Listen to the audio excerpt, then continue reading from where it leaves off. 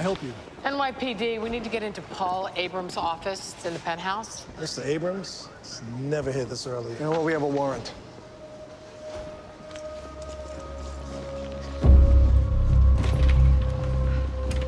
Carisi, what does the warrant cover? Everything.